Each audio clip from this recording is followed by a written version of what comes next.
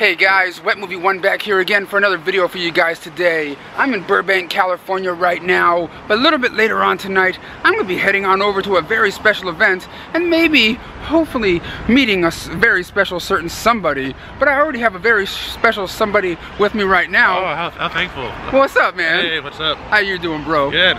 Man, we've been hanging out a lot lately. It's like, it's, it's like we're lovers or something. I know, right? Uh, oh, What? What? Yo, you, you smell like Old Spice and everything. oh yeah, I got my I got my nice shirt on. Yeah, you, oh, and you have like the chest hairs just coming out Uh, from you and everything. I like it. I'm digging it. I'm digging it. And the first stop of the day for this video, guys, is this place called Odz N Endz. Uh, Arron knows about this place out here in Burbank. I've never been here before. Uh, you know me, I like all the weird stores, so I I find them, and sometimes you can find treasures in the store, sometimes it's junk. Yeah. It all depends, you know. So let's head on in and see what kind of magic they have in here. Because from outside of the window, there's some really cool shit. Wow, guys, look at some of this cool stuff that they have in here. They have like the Blues Brothers uh, figures over here. Well, not figures, but you know, like standee kind of things. And just a whole bunch of like weird knick-knacky stuff like High School Musical 2. Like little like earrings or what have you, little piece bracelets and everything like that. And a real cool thing I saw over here was a Paddington bear. a real Paddington bear, dude. That's pretty damn cool. But Arron, dude, look at there's like all these different rooms. There's like DVDs and everything, and there's like all these different TV show seasons and like box sets and different things. This is like a real hidden kind of place. But check this out. They have all these Disney tins in here. I don't know how much they go for, but like they have all these ones, like the Donald Duck one. They have uh the Hardy Boys one. They have like all these different Disney tins up in here. I wonder how much.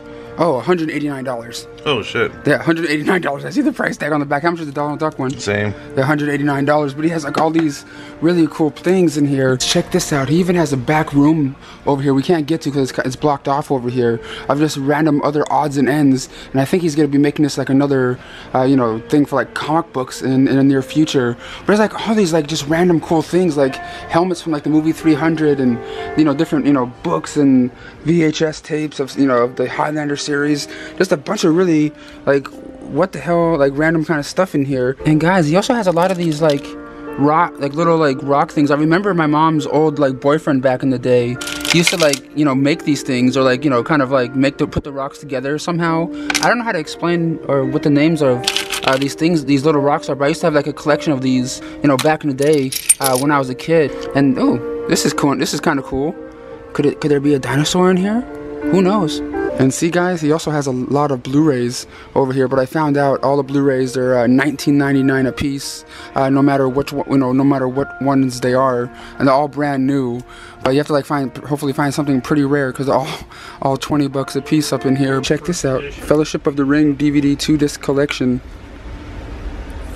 49.99. That was a definite interesting little place that we just went to. It's like they, they had cool stuff there. A lot of cool shit there. but it was like five times overpriced. Like they had that Lord of the Rings DVD It's like 50 for 50 bucks. I mean, you can get the whole Blu-ray Yeah, set for about that about price. that yeah about that price. And it- they had all those like Disney tins, which I think, yeah, I think the prices. That's how much they usually go for, maybe more. that much? 200 and Around there, yeah, I think so. Okay, well, That's why when a fluffy gamer finds them for like 25 bucks or 50 bucks, he just snaps them up, yeah. real quick. You know the Star Trek, the original series, he had the, the red and the blue one, and they were like a hundred bucks each for, for, for each season. All right, everyone, we're at our next destination of the day, over here at the In-N-Out in Burbank. Before we head on over to our jazz show, Arron has just gotten. What did you get, man? Bum, Two. bum. Two double doubles. Oh shit! You're gonna down both of them? Well, I, don't, I didn't get fries, so it kind of makes up for Uh, it. yeah, it does, huh? Yeah. But, uh, but the thing is, um, I know a lot of you guys complain that I said that um, Mexican food in LA is the best. Well, you know what? In-N-Out burgers are the fucking best. I don't care what you say.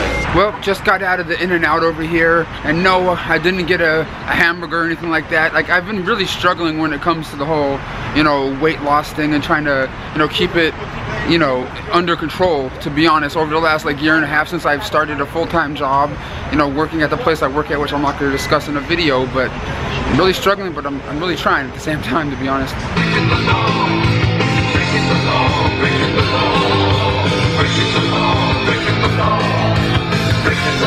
All right, guys, we finally made it on over here to Los Feliz and everything to go see this jazz show. Uh, there's a special person that's at this place that I didn't know has a jazz band, and he's also involved in this movie series right here, Jurassic Park.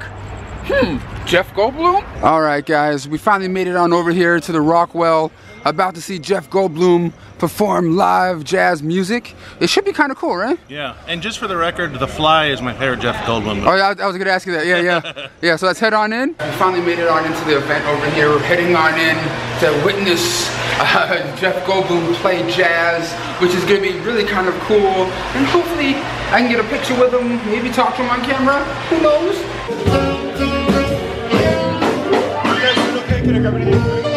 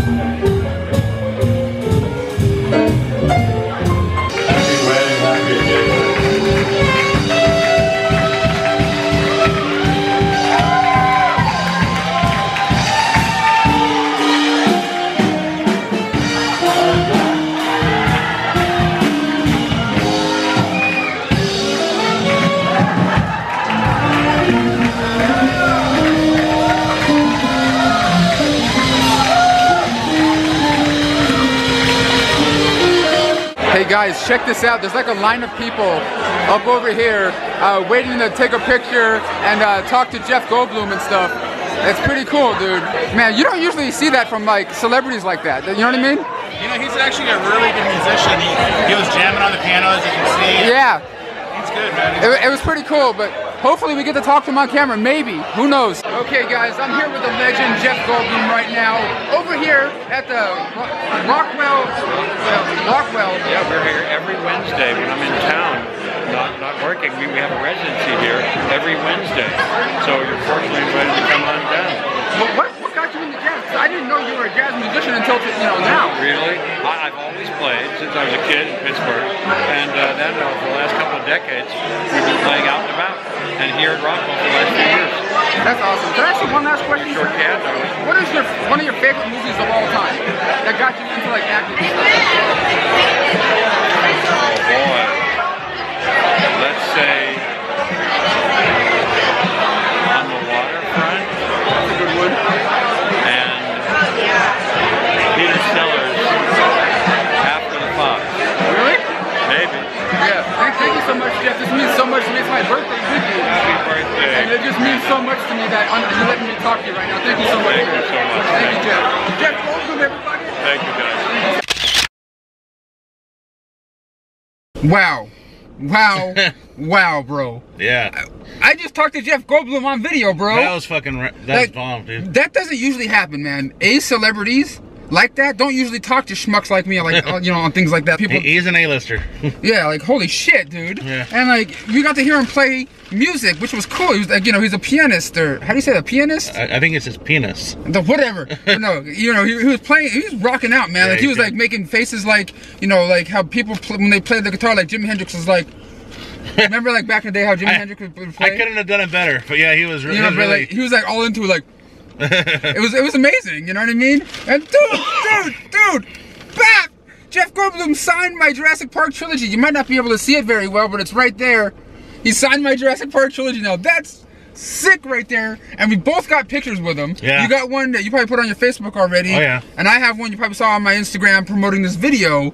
But you guys let us know down below what is your favorite Jeff Goldblum movie of all time? Because he's in a whole bunch of them. You said earlier in this video it was The Fly. The Fly, yeah. Do you have any others that you like? Because of course Jurassic Um, Park's well, of course, of. Jurassic Park, uh, Independence Day is cool. Independence Day. I love. There's a movie I like that not a lot of people talk about because I believe the director of the movie might have done something to other people back in the day, but I'm not sure. But that is the movie Powder. Oh yeah, yeah. I believe it's directed by the same guy that made Jeepers Jeep- Creepers. Yeah, he uh, in that. I think that's the movie is called Clown House. or- Clown House. We're not gonna talk about that, but like I, I always liked the movie Powder, and he he was in that one. And uh, he's just he's just a really chill dude. He took pictures and like chilled with pretty much everybody that stood in that line. Yeah. Talked talked to them for a couple minutes, a minute or two. Took pictures. It was amazing. It, was a great time. I gotta say. You know, I mean, this is this is part of my birthday week right now because my birthday is- on Sunday, July 9th, and this is awesome. You know what I mean? Like, come on now. Like, if you went to a convention and saw Jeff Goldblum there, it would probably cost you like 50 bucks or more to take a picture and or get an autograph from him. Yeah. You know what I mean? 'Cause that's how Robert Englund is. You know what I mean? Like, mm-hmm. I'm sorry, I'm just rambling right now. It's just fucking dope. Oh, and, and for the record, the reason I've been hanging out with this guy so much is that look at all the cool shit we do. You get you see the videos. We do cool shit all oh, the time. oh, oh. And thank you, Frankie, for letting me know about this. Frankie is the, I saw Frankie a week or so ago take a picture with Jeff Goldblum saying he's at this place and he's here every other Wednesday or every Wednesday. And I'm like, thank you, Frankie. Thank you, Frankie. You guys don't know Frankie is a crew member, but holy shit, this was dope. Two, you know? two thumbs up. Yeah, def- definitely, definitely two thumbs up, and let us know down below in the comments what your favorite Jeff Goldblum movie of all time. And I, I- you know, keep in mind, I couldn't control the audio when I was doing an interview with him because there's all these crowds of people talking, you know, music playing and all that kind of stuff. So forgive me, I'm not, you know, I don't have mics and shit. It's just like an on the fly kind of thing. But it was dope. Arron, thank you so Yeah. much for, uh, you know, coming on down Oh, with yeah. me. It was fucking killer. Hey, uh, now wait a minute. We racked up like a two hundred dollar alcohol tab. Did you pay it? I don't drink alcohol. Oh shit! Let's get the fuck out of here. Let's get out of here, guys. Thank you so much for watching. See you later.